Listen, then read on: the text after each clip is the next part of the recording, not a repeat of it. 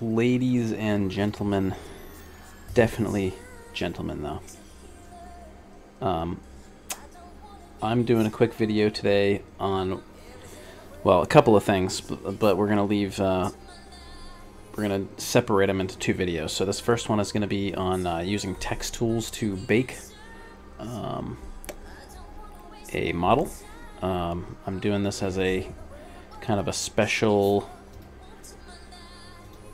little thing for my good friend Adam because uh, he needs some help. And uh, he likes building stuff in Blender but he uses Zmod to uh, put stuff in game. So I was just trying to tell him that um, doing any sort of baking and stuff like that is much easier on Blender because you don't have to manually separate everything.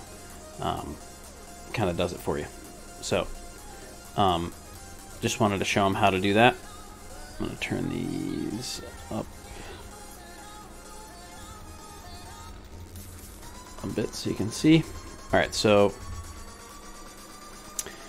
we don't really need that so much. Alright, so I'm going to take the, uh, the cab here of this uh, W900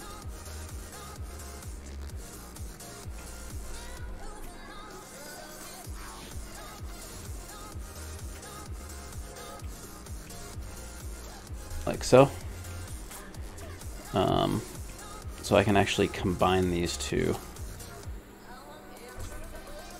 Do join, so that's a control J.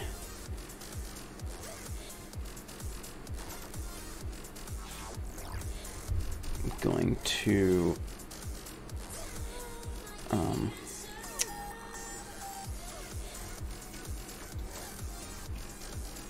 quad that thing quads are cool.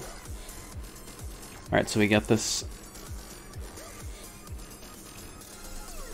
where we want it. Um,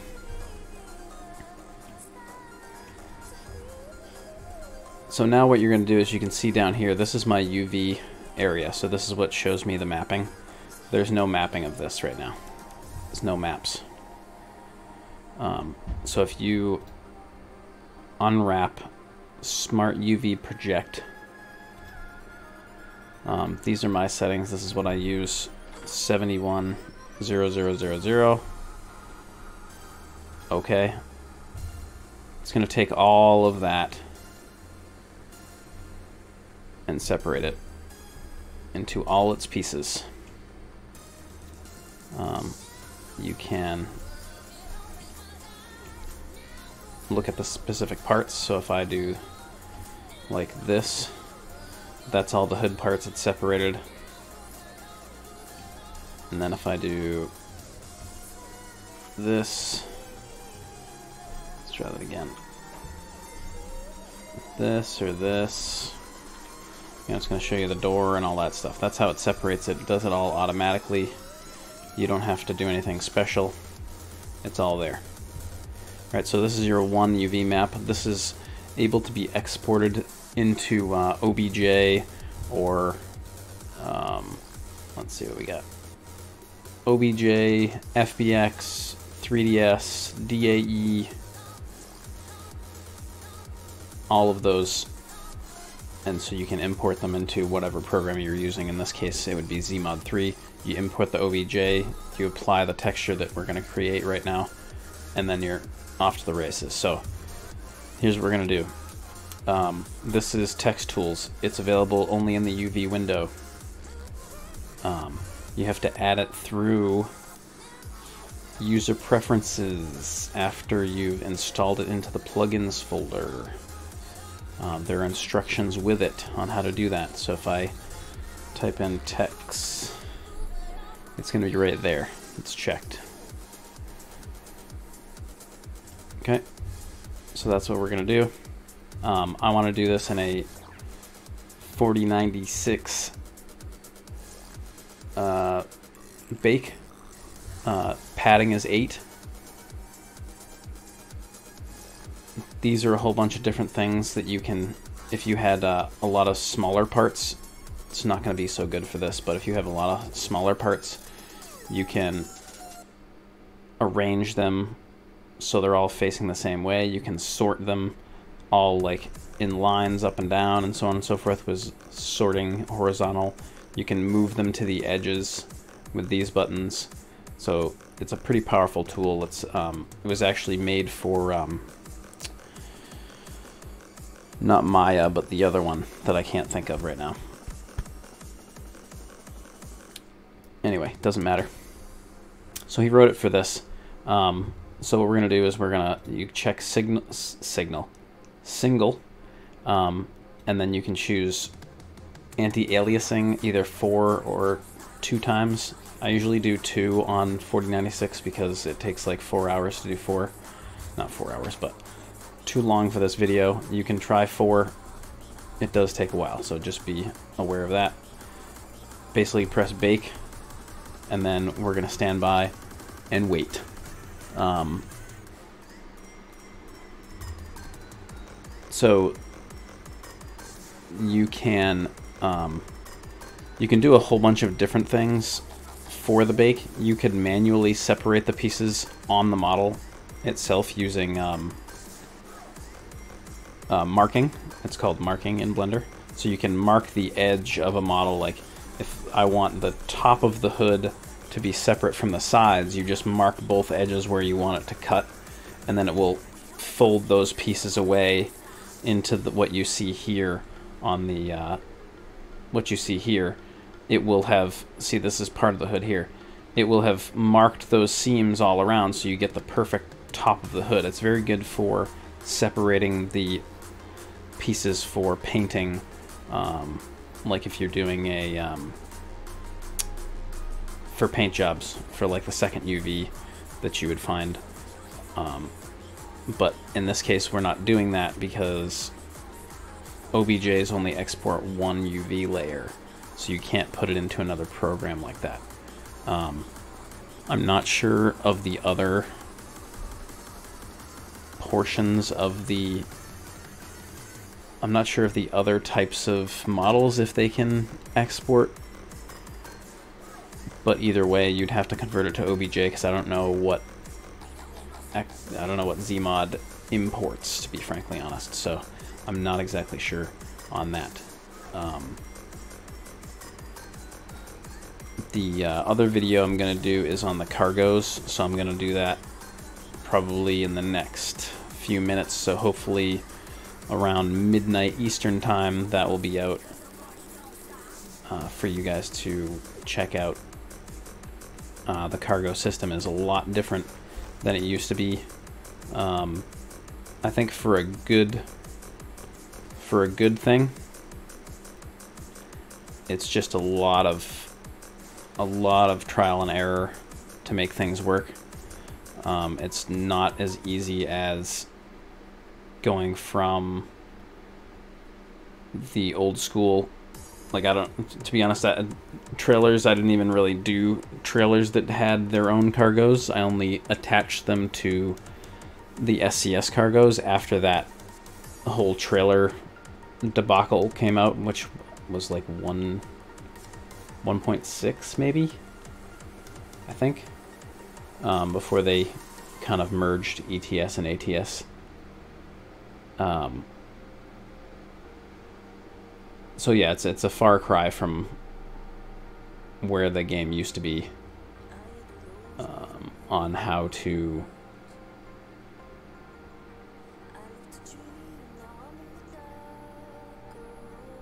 do the uh, trailers, the trailer portion. Um, so here we go. There is your model baked. So if I save this and we'll call it um, you can save it as anything you want in here um, if you're going to export it but if you're going to be baking it inside of Blender and using the Blender tools you're going to need to save it as a TGA file which I've explained before. So you, you want to make sure that that's there. Um, we're going to call this um, aero cab TGA. Then we're going to save that.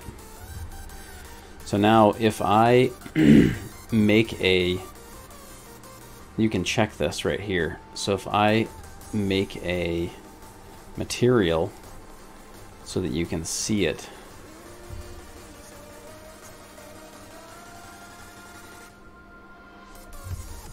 um, we're going to call this aero cab. This is just this is just to see what the bake looks like, okay? This is not to go into the game. This is just for checking to see what the bake looks like before you now export this into an OBJ. So don't kind of disregard this. I'm just doing this to to test how this looks. Um, so it's this UV map. We're gonna open that.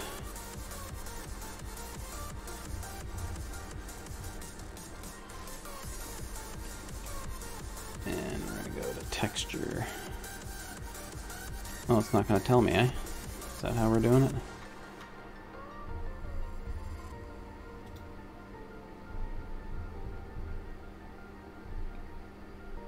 Do do do do do do. Oh, you need lights, Jeff. That's why. Ha ha ha. Stand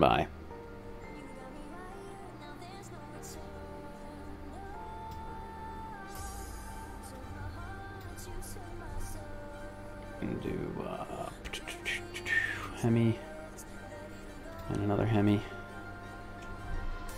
And we're going to put one Hemi here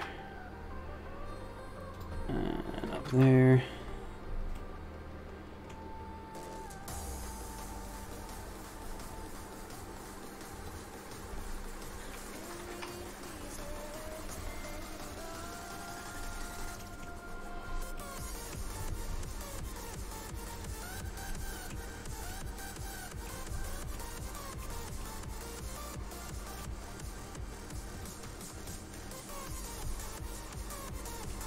So here you can see, like if I hide that,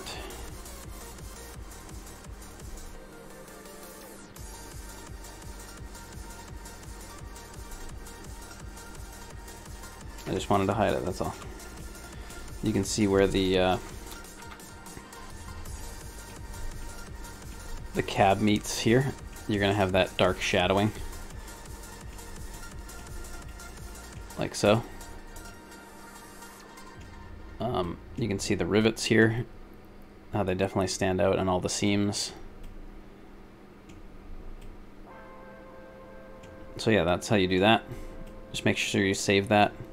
And obviously don't change the... Um, don't change the uh, the layer though don't change anything here in the UV before you ship it off because if you change anything here then the image isn't going to match when you get to the other side. Um, but like it missed a little bit of the hood here. And that may just because be because I converted it to quads which I probably shouldn't have done but either way you don't have to convert it to quads but you should be working in quads in Blender anyway. Um, but yeah so that's essentially how to do it which is the basis of this video. But as you can see, um, it comes up pretty well. And you can see the uh, where all the rivets are in the model. So there you go. So that's how to bake something using TexTools over here in the uh, panel on the left hand side of the UV portion of Blender. So make sure you check that out. And uh, maybe we'll see you next time for the next little trick you can use in Blender. All right? Thanks for watching. We'll see you next time.